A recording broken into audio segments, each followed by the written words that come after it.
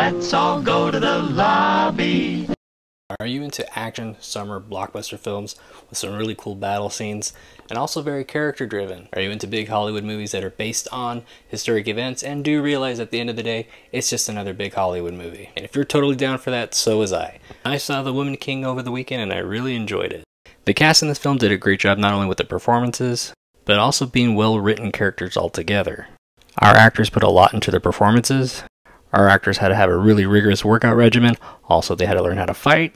And also, don't forget they had to act. Not only was the acting so well done in this movie, also the characters were so well written that I completely forgot there was supposed to be a big battle at the end of the movie because I was actually happy with all the training montages and all the time that we got to spend with these characters. The movie was PG-13. I did kind of want it to be rated R just because I kind of wanted violence like Apocalypto, but I understand they wanted a wider audience with the PG-13 rating, and I'm okay with it.